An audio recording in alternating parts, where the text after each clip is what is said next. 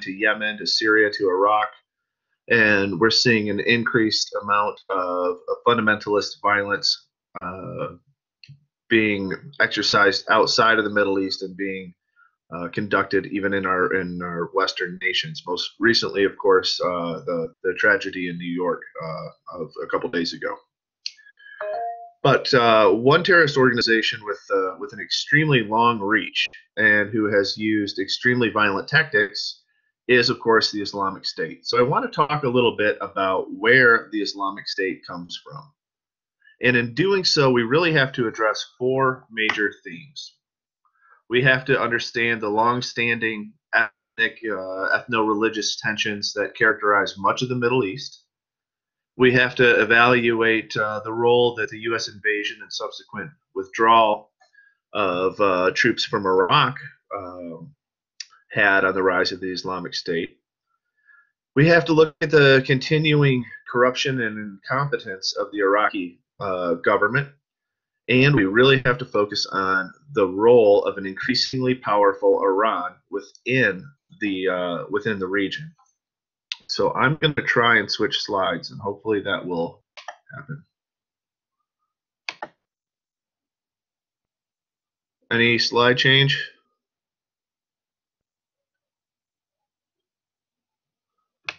Um, well, we'll see. So when we start to analyze the uh, the Islamic State, we first have to really ask, well, what is it? And so I want to give a brief summation of what is the Islamic State, what are their goals, etc. So in short, the Islamic State is a Sunni extremist group with the stated purpose of establishing an Islamic caliphate throughout the Middle East. Okay? And so when we're talking about a caliphate, what we're really talking about is the creation of a state. And a state is a geographic area controlled by Islamic State, the centralized authority, is going to be the supreme religious and political leader. So, in many Western democracies, there's a, uh, a significant separation of church and state. In an Islamic caliphate, that is not the case. The state is the religion, the religion is the state.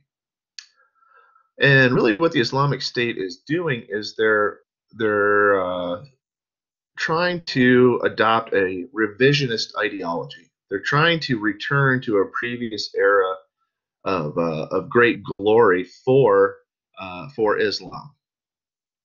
So, of course, if this state emerges, and, and some will argue that it already has, uh, we will not find those institutions that we've come to recognize in our Western democracies.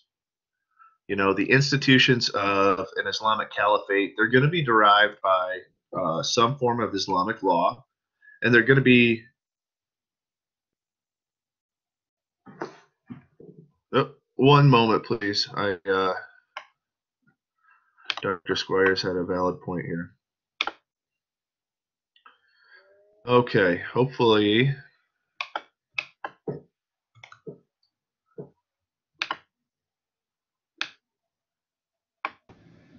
You, Dr. Arsenal, uh, when you clicked on those individual slides, it did uh, change. So I didn't see notice that. All right, let me uh, let me try again here. I have a couple different screens going on here. Again, uh, our apologies. This is the the first time we've tried to do this speaker series.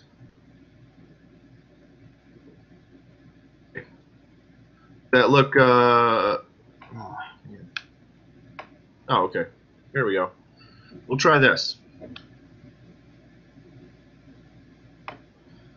Um, so the, the Islamic Caliphate is really uh, adopting this revisionist ideology of trying to return to a to a point in history where uh, Islam was one of the great civilizations.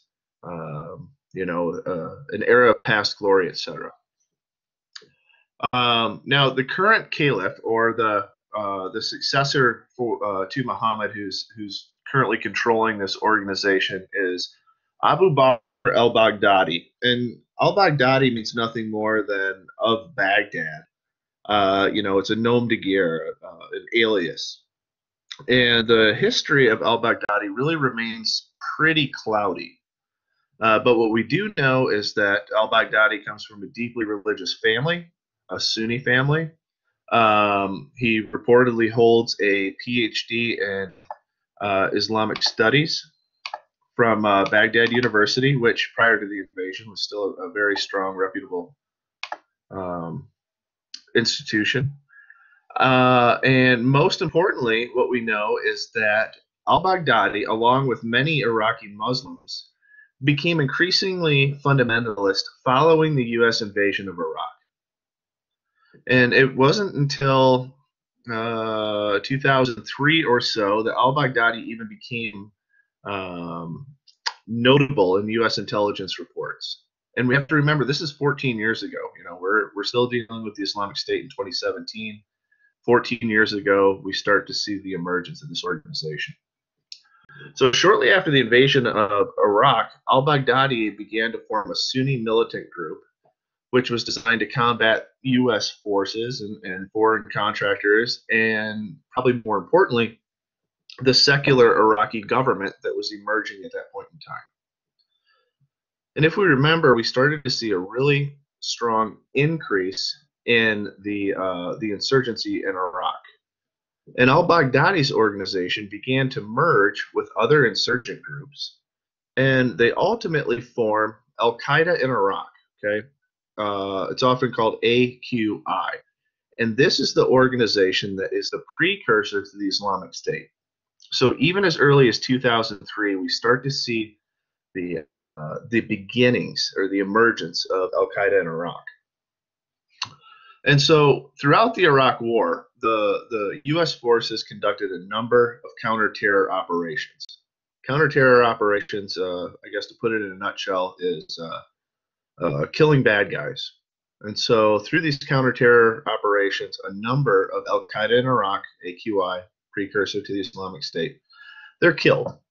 And out of all these killings, al Baghdadi uh, came to command uh, Al Qaeda in Iraq in 2010 and he remains in uh, in command of AQI, the precursor to uh, the Islamic State, from uh, you know up to present day.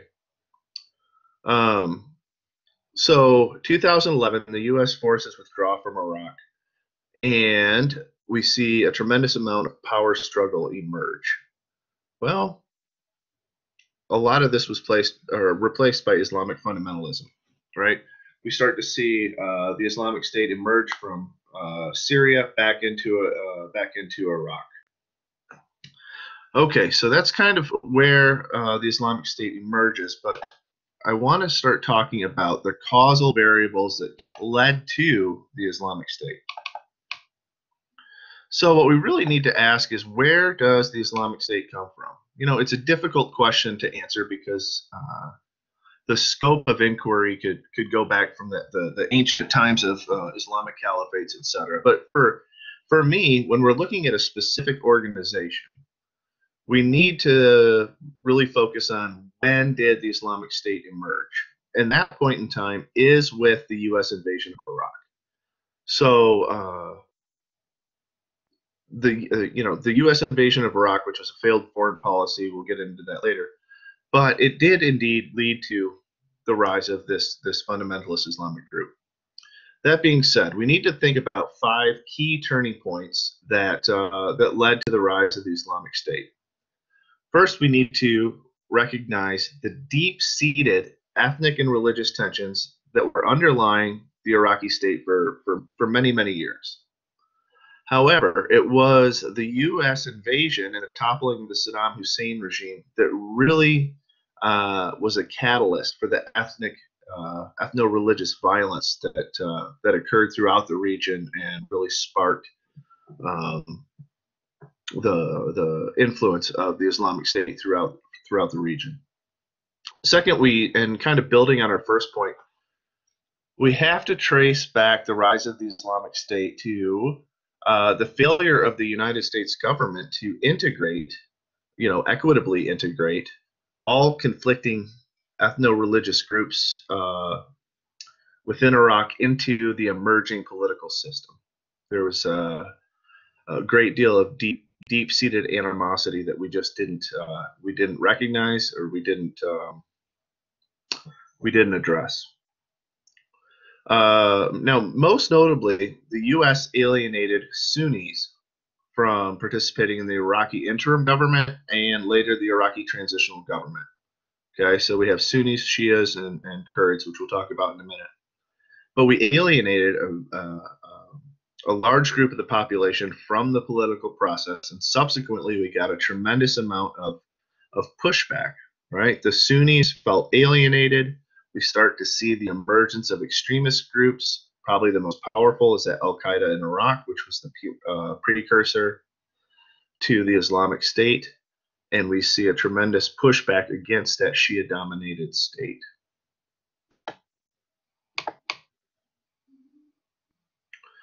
You know, we also, uh, you know, even though made significant gains to combat uh, Sunni extremism,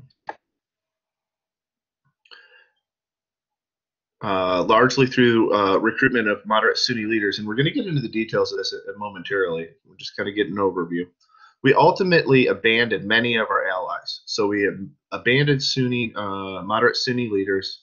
We abandoned uh, Kurdish leaders in the north, and we allowed this uh, Shia-dominated government to essentially take over the state, alienate these different groups, and uh, ultimately foster an environment that was uh, conducive to the growing of extremist groups, particularly the Islam, uh, the Islamic State. Uh, lastly, the invasion of Iraq it created instability within the broader region. Right, it culminates in the Arab Spring, which on paper was supposed to be a uh, a series or a succession of democratic revolutions throughout the region. But however, what it did is it creates power vacuums, and it subsequently created uh, an environment that allowed extremism to flourish and grow. It provided a certain level of safety. Okay, so that's in a nutshell where the uh, the Islamic State comes from, what it does, etc. But now let's get down into the details of, of that those different uh, facets here. So as we begin to analyze the origins of the Islamic State, we first need to really recognize the ethnic cleavages within Iraq, um, but they also are ethnic cleavages that characterize a number of Middle East states. So in Iraq, we tend to have three often competing uh, socio-ethnic uh, identities. Um, we have the Shia, which is the dominant group, and it composes about 60% of the population, and it's generally concentrated in the southeast uh, part of Iraq. And the southeast part of Iraq borders uh, and has close um, shared historical ancestry, etc., ties with Iran, and that will play a, a, a significant role uh, later in our discussion.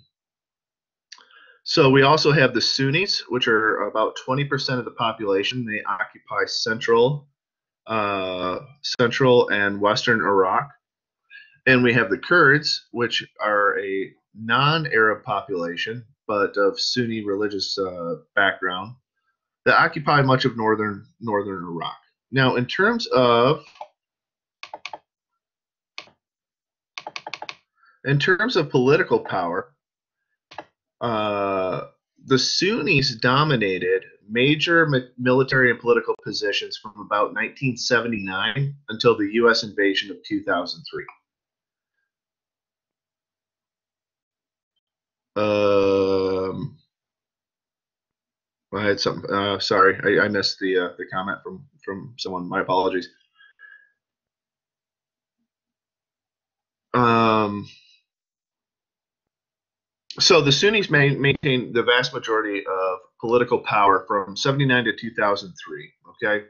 Now this, of course, corresponds to the rule of uh, Saddam Hussein, who was Sunni, and uh, maintained uh, his Sunni-backed Ba'athist party also dominated the government. So what do we see here? We see 20% of the population maintaining 100% of the uh, political power within the region.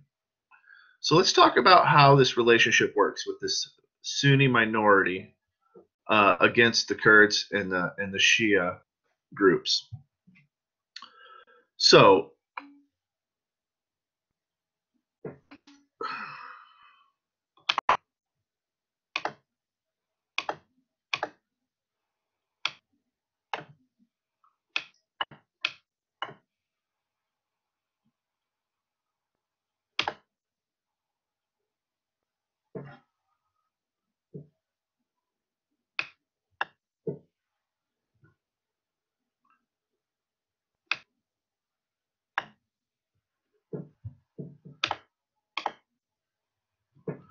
Um, my apologies for the slide projection. Again, I uh, I had not run through this previously. Um, anyway, uh, so we start to see political dominate uh, domination from the Sunni regime, the Saddam-backed uh, regime. When Saddam is in power, he creates a, a, a tremendous amount of repression for both Sunnis, excuse me, Shia and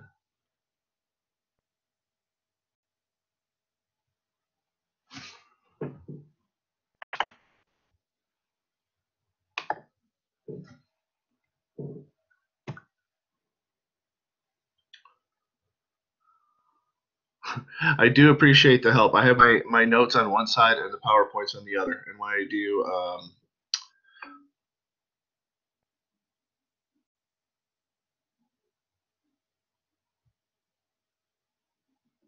um, um, anyway, under the under the Saddam Hussein regime, we start to see uh, a tremendous amount of repression against the Sunni, the Shia, or excuse me, the Shia and the Kurd. Um, the Shia, at best of times, were just completely alienated from the political process. Okay. Uh, at the worst of times, they are set up for wholesale slaughter at the hands of the Iraqi government. So, most notably during the Iran Iraq War uh, in the 1980s, we see Saddam crack down on uh, Shia groups as well as following the Persian Gulf War in the 1990 1991. Same thing happens with the Kurds. So uh, Kurds occupy northern Iraq, parts of Turkey, Syria, Iran, etc., and they face a tremendous amount of repression under, again, a Sunni-dominated Saddam regime. So most notably, we have the the incident at uh, Halabja in 1998, when the Iraqi government gasses over 5,000 men, women, and children in uh, in Kurdistan. Okay, so what does all this mean? It means that for 25 years, Iraq is an ethnic powder keg.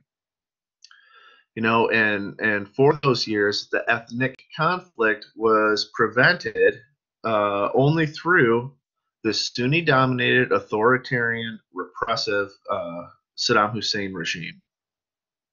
You know, so we have this long-standing, deep-rooted hatred between these ethnic groups, and when the United States invades and forces the the Iraqi regime to collapse, we're left with a uh, uh, essentially a power vacuum where we have these three factions fighting for some sort of control.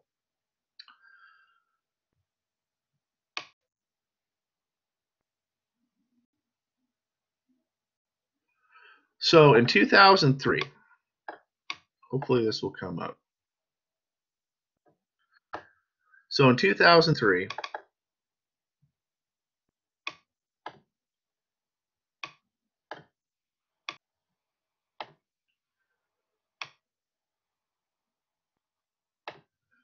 uh, the United States topples that Sunni-dominated government. And now, in one of my, uh, in my opinion, one of the biggest mistakes that we made, uh, you know, through the, the the coalition provisional authority was implementing a policy called de-Baathification.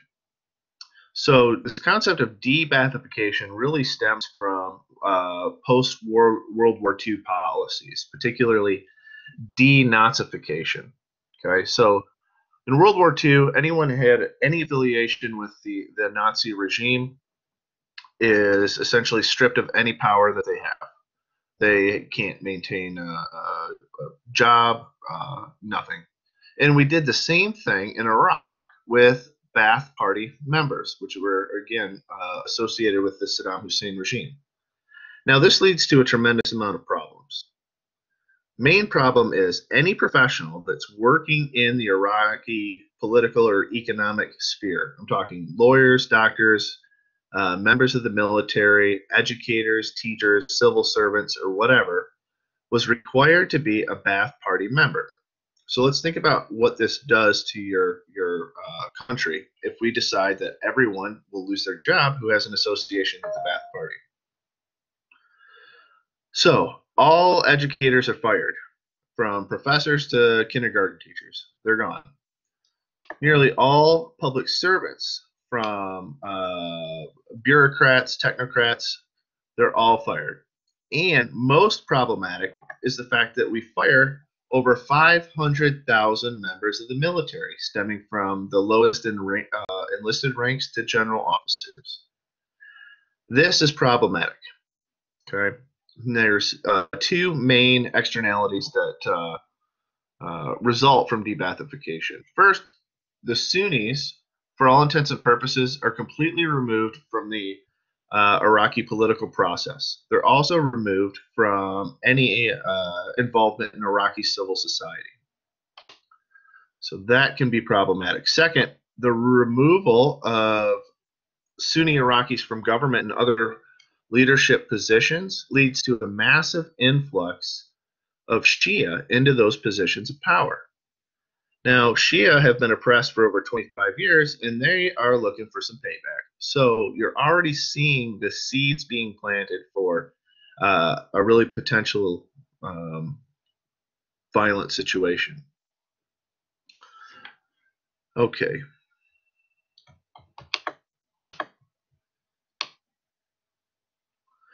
So this political situation continues to grow worse uh, we start to see a tremendous amount of violence emerge between the Sunni and Shia factions.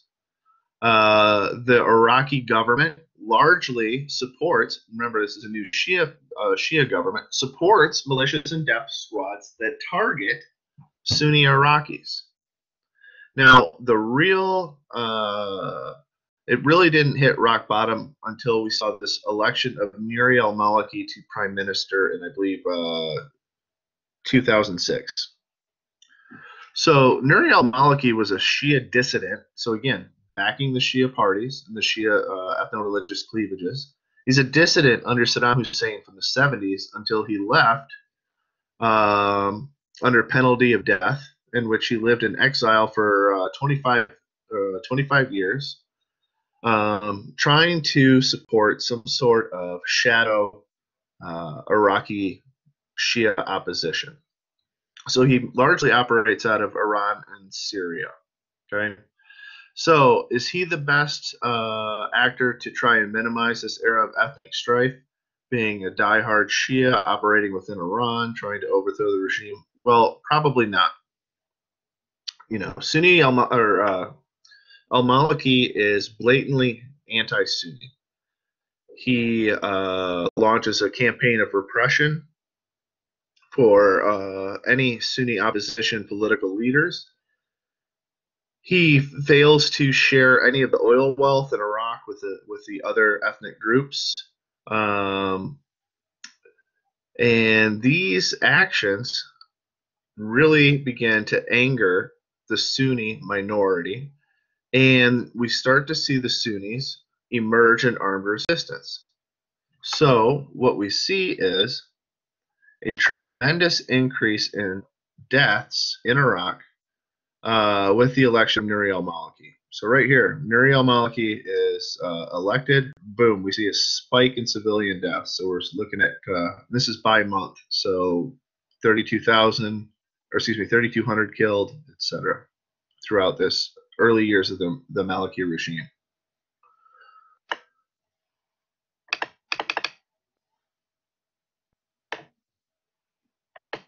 Now, is Nuri al-Maliki the end-all be-all for this big spike in death? Well, no, but um, you know, deaths doubled in six months, and this suggests that uh, at least ethnic uh, war is increasing under the Maliki uh, regime. So it's within this uh, this environment of political alienation and increasing ethnic violence that we start to see that precursor to the Islamic State emerge. And again, that's AQI, the Islamic State. Okay, so what we saw uh, was a large, sort of fractionalized uh, number of organizations, uh, Sunni organizations, Sunni insurgent groups operating against U.S. forces and the Iraqi government. Uh, over time, they all start to coalesce under one umbrella, and that is this Al Qaeda in uh, Iraq, led by Abu Musab al Zarqawi, who was a Jordanian uh, extremist who was initially tied uh, closely with the uh, Al Qaeda organization, most most famously headed by uh, Osama bin Laden. And the goals of the Al Qaeda in Iraq are similar to those um, of the Islamic State. You know, AQI seeks to establish an Islamic caliphate. They seek to spread war to Iraq's secular neighbors, most notably the Assad regime in Syria. They seek to engage in a broader war with Israel uh, and what have you. So, what's interesting to note is that in 2006, this Al Qaeda in Iraq retained a strong association with that broader Al Qaeda organization. However, this relationship wasn't to last. So, under Zarqawi, uh, pictured here, um, he launches a systematic assault not only on U.S. forces, not only on the Iraqi government, but he also launches a tremendous and violent ethnic war against Shia Muslims as well. Uh, AQI launches a number of suicide attacks, car bombing uh, attacks. They round up and summarily execute Shia civilians. There's public torture, and probably most uh, famously, we begin to see the beheadings. So the beheadings are not new. They're not just Islamic State. They, we can trace them back to, to the early 2000s as well. However, all this wholesale violence against fellow Muslims, in this case the Shia Muslims, we start to see a very strong pushback uh, by the broader Muslim community, right? Uh, public torture, etc. It's not going well. You know, even Al Qaeda starts to realize that AQI has gone too far. So for Al Qaeda, uh, for Al Qaeda, killing soldiers is fine.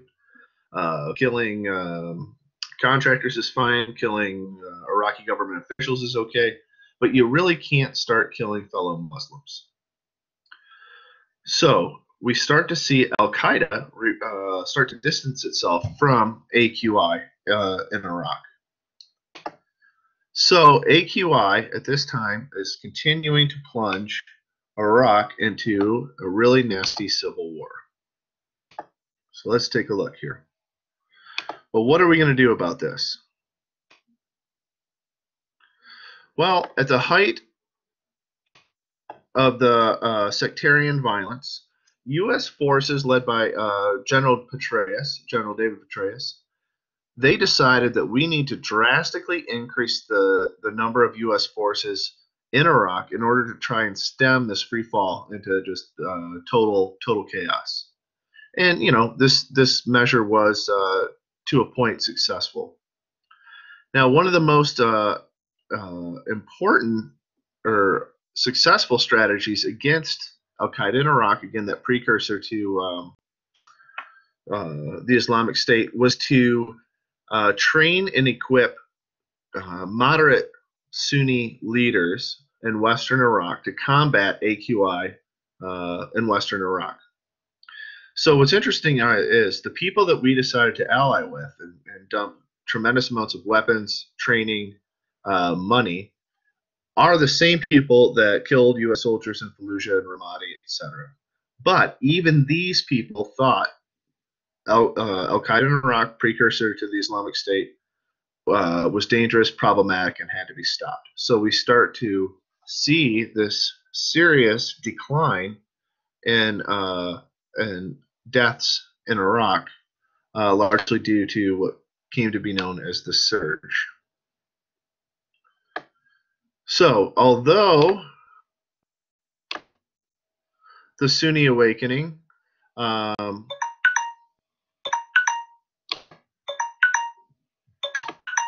sorry. Uh, although the Sunni awakening and the U.S. troop surge really weakened uh, Sunni extremist groups, they weren't destroyed. If anything, these really die-hard extremist groups went more underground in Iraq, uh, and they also found sanctuary across the border in Syria. And here they sit from 2010 to 2011. But we begin to see the rise of the Arab Spring. So, Arab Spring, right? Tacitly, it's a series of democratic revolutions across the uh, the Middle East and North Africa. Uh, many people frustrated with an authoritarian rule start um, demonstrations against the existing regime, and we start to see either a democratic revolutions or b uh, regimes start to uh, severely crack down on demonstrators. At the very least, chaos starts to really spread out across uh, the Middle East. Now, a particular note when we're talking about the Islamic State has to do with the civil war in Syria. So, Syria is long dominated by a repressive regime uh, controlled by Shia minority. And at first, this civil war emerging out of the uh, the Arab Spring was characterized by two competing factions we have a Shia dominated Assad regime, and we have a semi unified opposition. However, this semi unified opposition did not last very long. We saw a fractionalization of the opposition. We had fundamentalist groups, we had uh, Sunni and Shia divisions, we had secular versus religious uh, factions, etc. Now, one of the strongest opposition groups to emerge was what became now known as the Islamic State. These were the hardcore cadre emerging out of that Al Qaeda in Iraq, who had gained a tremendous amount of experience um, fighting U.S. forces and Iraqi government forces uh, during our war there. And they took those skills and that training and that hardness into Syria. So they really began to make significant political uh, political gains. And what this political gains did is it really allowed uh, the Iraqi, or excuse me, the Islamic State to make a, a significant push into um, oh, Western Iraq. And this is kind of where we're at now. The Islamic State makes a significant push into Western Iraq. They essentially uh, drive the Islamic force, or excuse me, the Iraqi government forces back into Baghdad. Uh, they take territory from the Kurds, um, and there's a number of uh, reasons why that's so. But I understand we're we're we're short on time. Um, but at the very least, I, I hope that kind of gave a, a, brief background of uh, where the Islamic State comes from, and I'd like to open up to questions and see uh, what we can do to discuss the, the, the, current problem with the Islamic State, particularly in, uh, in the West, including the United States, Europe, etc. So I will definitely open it up for uh, for questions if that's okay with Dr. Spires. Yeah, thank you, Dr. Arsenault. You mentioned there at the end about the Islamic State attacking Kurdistan. I was actually in Erbil teaching at the University of Kurdistan when that happened, and it caught a lot of people off guard. I was uh, about an hour and 15 minute drive from Mosul when they overthrew Mosul, and no one expected that. And uh, that's actually just shortly after that when they tried to attack Erbil, which is the capital of the autonomous Kurdistan region. That's when the U.S. intervened again. And uh, in our most recent campaign there in Iraq, I got a question from a student. They read your profile about you being in Iraq and wanted to know if you could talk a little bit about what a civilian intelligence analyst is, and maybe you could speak a little bit about your experience during that time. Sure. Um, so, part of what the Army was trying to do was to take people outside of Army intelligence. Army intelligence officers are trained to think one particular way. Academics are generally trained to think in a different way. So the idea was if you can have two different ways of thinking about uh, these these military problems, you're more likely to come up with an effective and an efficient solution. Um, the the adage is if the only tool you have is a hammer, every problem looks like a nail.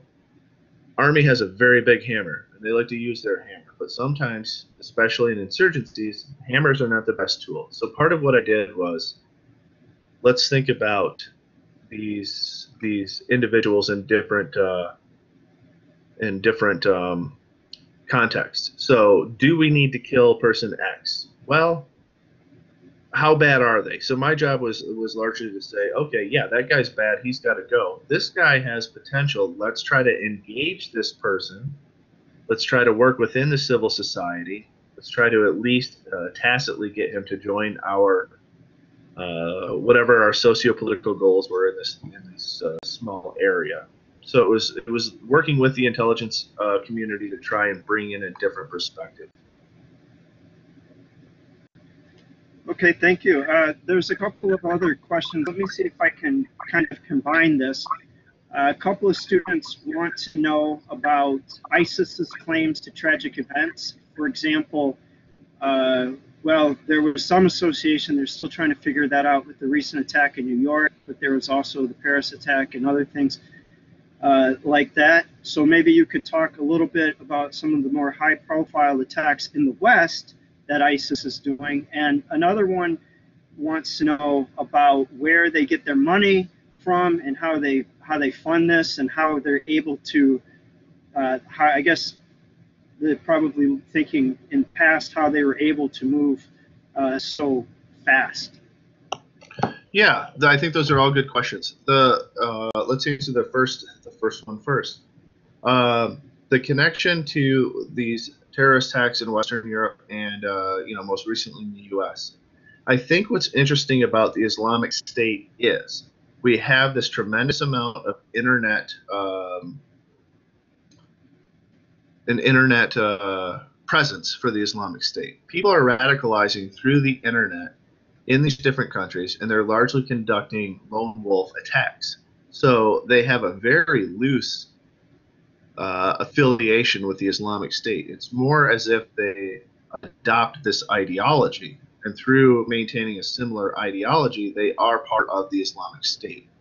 So I think it's a very decentralized organization which is just going to make it uh, extremely difficult to try and actually combat uh, these type of, uh, of lone wolf attacks. I think it's it's it's just an individual associating themselves with this broader organization and then acting on those ideologies.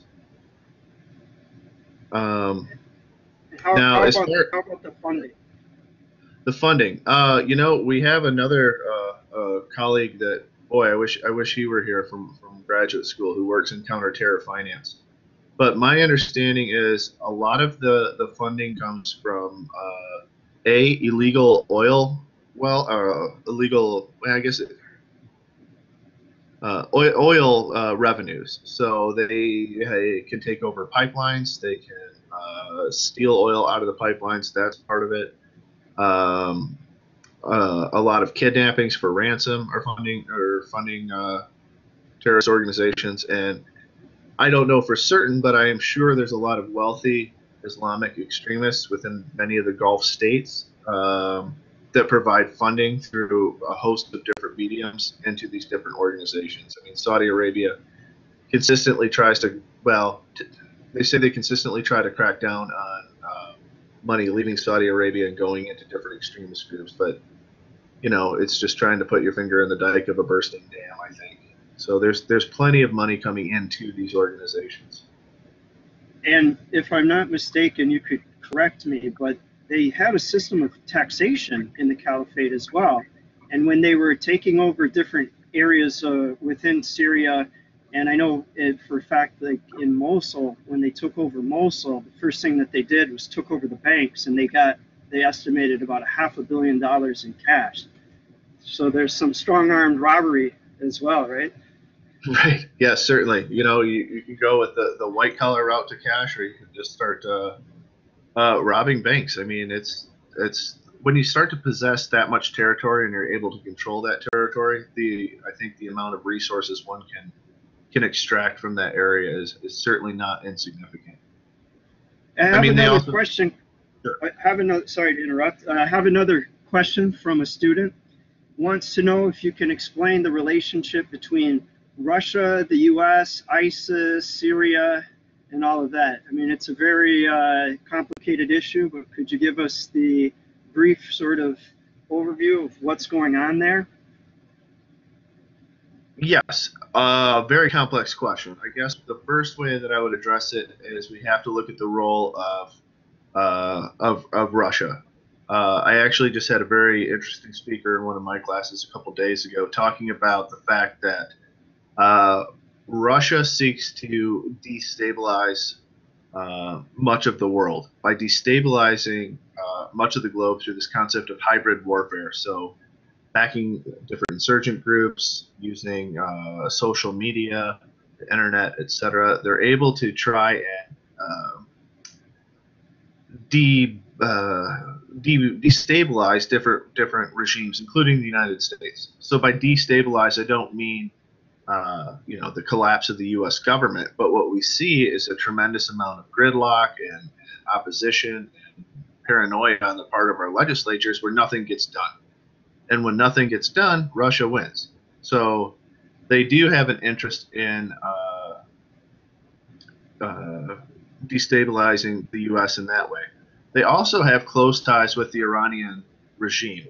You know, there's a, a, a pretty tight alliance between the, these two states. And if we look at uh, the Iraq, excuse me, the, the Middle East in general, Iraq, excuse me, Iran is making a, a very strong push to become a, uh, a hegemon of that region. It's largely a balance between Iran and Saudi Arabia. And to to an extent, the U.S. backs Saudi Arabia, Russia backs Iran, and it's uh, it's old school power politics, power balancing within the region at this time.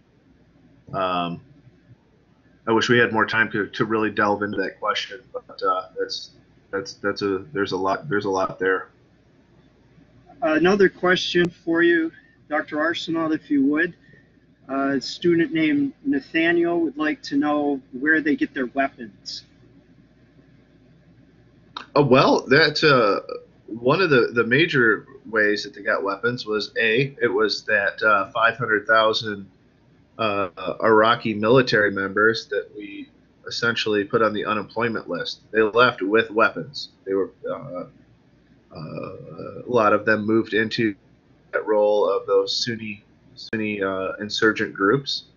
Um, when they became when they came back into Iraq from Syria, they took tremendous amounts of weapons from the Iraqi government forces, which uh, which we had left there, and that was uh, that was certainly problematic. Um, what it's interesting to note is kind of an aside. We have our mine-resistant vehicles, our MRAPs, uh, that we left with the Iraqi government, and they're now being used as uh, massive suicide car bombs. So essentially, you can't stop these vehicles. They're packed with explosives uh, and they're just they're driven in and just blowing blowing blocks of you know city city apart. It's uh, it's tremendous. But bottom line, they're getting their weapons largely from the Iraqi government as they start to over overrun these different positions.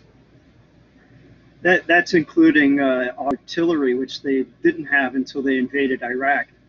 I, Right. One of the things, one, one of the ahead, things, one of the things that was uh, sort of going around as a rumor when I was in Iraq is that when ISIS invaded Iraq and took over large areas of that, there was wide scale speculation among the Kurdish people that they were ordered to stand down on purpose. And the idea was that Ba'athist loyalists that we still had positions of power within the Iraqi government were to blame.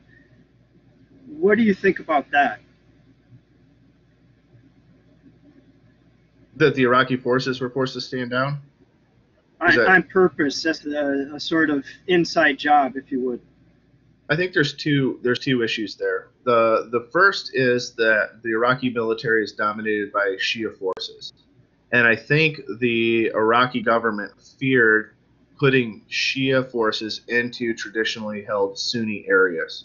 Uh, there's a fear of um, sparking ethnic violence. So not only do you have to deal with the Islamic State, but now you have to deal with the, the disillusioned Baathists, those moderate uh, Sunni tribes that at one point in time fought the Islamic State. I think that was a fear of the Iraqi or the Iraqi government, and I think it parallels the fact that they they really had no support for Kurdish forces as well. Uh, when the Kurdish forces are fighting the Islamic State, there was very little support from from uh, from Baghdad in that case. It's kind of I think that concept of divide and conquer, and coupled with the the strong desire to maintain that Shia dominated government. Okay, let's uh, let's take one more question. This is actually from one of my students, Linda. She wants to know. Um, well, first she, she says that ISIS has brought terrorism to a new extreme. I want to get your thoughts on that, and then also uh, she wants to know whether or not that this is uh, something that uh, will be resolved peacefully eventually or not. Uh, to answer the first part of the question, yes, the Islamic State has brought terrorism to a, a, a new new extreme. Part of it is we've seen a shift to what uh, many call new terrorism. So old terrorism generally stemmed from nationalist conflicts. There were surgical uh, surgical strikes to target particular uh, symbols and what have you. Um, you know, assassinations, hijackings, and what have you. The new terrorism is ground by this sort of uh, supernatural sort of uh, motivation, right? It's a religious guided uh, motivation. We see mass casualty attacks. We see the desire to uh, just inflict as many casualties as we possibly can. Uh, we also see this drastic increase in the use of technology, internet technology, and what have you, uh, to radicalize people uh, thousands and thousands of miles away towards towards their cause. Um, you know, uh, the Islamic State is a brand. It's a brand, and they're doing a hell of a job uh, marketing their brand to a lot of uh, uh, disillusion uh, disillusion people and get, getting them to to act on their behalf. Uh, will it end peacefully? I, I I don't think so. I don't think so. Um, some people say we need to control the narrative, right? We need to be able to, to, to head off this radicalization and what have you. I don't see that being feasible. Um, perhaps perhaps I'm jaded. Uh, I think I think the only way to contain and uh, and I don't think we'll ever get rid of the, the, Islamic State per se or radical Islam or what have you. The only way to contain is continue with those targeted strikes, counterterrorism efforts, try to kill as many of the leadership as we can. Um, but even then, I, I feel like it's uh, we're we're fighting an uphill battle. Well, thank you very much, Dr. Arsenault, for coming and sharing your expertise and wisdom with us today. We really appreciate that. For thank you, and I apologize for the PowerPoint. I apologize for the PowerPoint uh, mishap. I uh, we, we should I should have ran through that earlier. No, no, no worries. We're, we're happy to have you here. Um, just a, a note for all of you students, we've just posted a link to a survey. If you are attending for extra credit, make sure that you fill out that survey. And even if you're not, we'd like to hear your thoughts and uh, let, let us know. This is the first time we've tried this, so we want to, you know, improve and see maybe what you'd like to see from this series in the future. Once again, thank you very much, Dr. Arsenault. Thank you. Thank you for the opportunity. I enjoyed it. Goodbye. Bye bye.